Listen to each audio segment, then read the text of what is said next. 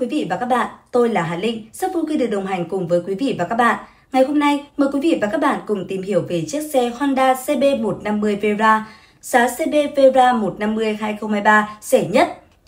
Honda CB150 Vera 2023 sở hữu phong cách bán naked pha trộn cùng với Cafe Racer, chịu ảnh hưởng khá nhiều từ những đàn anh như CB160R Hornet, CB1000.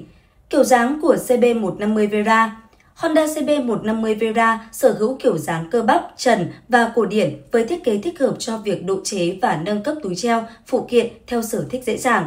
Honda Vera sở hữu tổng thể kích thước dài, rộng, cao lần lượt là 2056 x 742 x 1054 mm, chiều cao yên ở mức 773 mm, khoảng sáng cầm xe 156 mm, trọng lượng khá tương đối 129 kg. Với thông số như vậy, chủ sở hữu xe nên có chiều cao từ 1m55 trở lên để điều khiển dễ dàng. Xe có khoảng sáng cầm khá tốt cho phép dễ dàng di chuyển trong những đoạn đường gồ ghề. Kết cấu Honda CB150 Vera chắc chắn. Bộ khung chính của xe sử dụng loại thép mới với cấu trúc dạng tinh thể, siêu bền. Với cải tiến này, xe có thể chịu được tải trọng lớn trong khi vẫn duy trì tính ổn định và bền vững cho xe. Khung xe Honda CB150 Vera Khung xe CB150 Vera CB150 và hệ thống LED công nghệ mới. CB150 Vera sử dụng hệ thống đèn trước với thiết kế cổ điển bằng việc thiết kế thêm nhiều điểm phản quang kết hợp cùng với bóng halogen.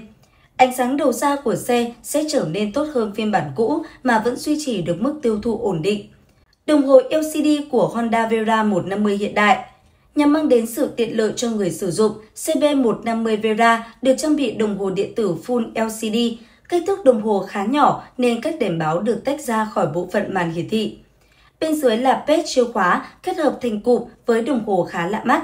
Nhờ điều đó, người dùng có thể dễ dàng kiểm tra thông số xe ngay khi mở khóa. Bình xăng lớn giúp CB150 đi phượt vi vu. Bình nhiên liệu được bố trí cao và thiết kế theo phong cách naked đầy cơ bắp. Nước sâm bóng đầy chất lượng khiến xe trở nên bóng bẩy, lực lưỡng như một vận động viên. Tất nhiên, đi kèm điều đó là bình xăng dung tích khủng tới tận 12,2 lít.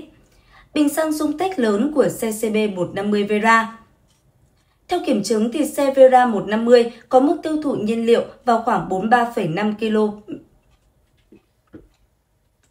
Theo kiểm chứng thì xe Vera 150 có mức tiêu thụ nhiên liệu vào khoảng 43,5 km trên lít, với mức tiêu thụ thấp và dung tích khủng từ nhà sản xuất, ta có thể thấy định hướng cho màu xe đường trường khủng mang tên CB150 Vera.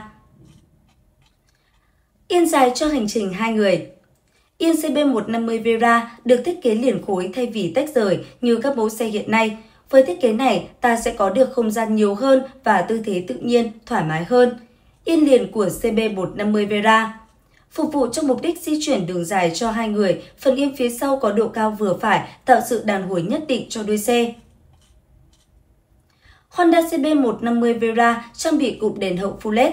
Với cụm đèn hậu chính được thiết kế đa cạnh, bóng, giúp cho dài rộng và dễ dàng nhận biết. Bóng LED được nâng cao tuổi thọ lên đáng kể so với phiên bản trước đây. Hệ thống phuộc CB150 Vera đi hành trình dài, Hệ thống treo, giảm sốc của CB150 Vera lần lượt là phụ ống lồng cho phía trước và lò xo đôi cho phía sau.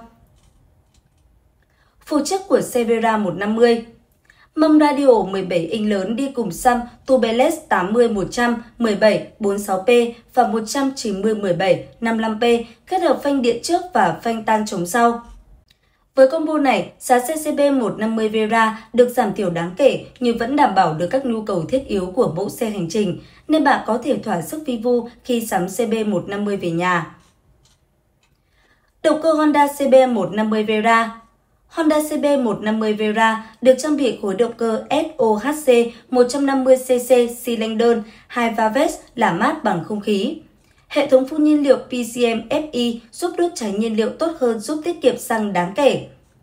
Động cơ đẩy mạnh mẽ của Vera Moto Honda 150 Với động cơ này, Vera CB150 có khả năng sản sinh công suất đến 12,86 mã lực, mô men xoắn cực đại đạt 12,73 nanomet tại 6.000 vòng trên phút. Xe sử dụng hộp số 5 cấp và đã được kiểm tra tiêu chuẩn khí thải Euro 3. Ống xả kéo dài với nước sơn đen nhám sẽ dàng phối hợp cùng các phụ kiện khác Oppo nổi bật với chiếc Vera, y chìm khá ngầu, giúp hạn chế tai nạn phỏng bô và hơi nóng hắt lên chân người ngồi sau. Những thông tin vừa rồi cũng đã khép lại nội dung ngày hôm nay của chúng tôi. Cảm ơn quý vị và các bạn đã quan tâm theo dõi. Xin chào tạm biệt và hẹn gặp lại trong các video tiếp theo.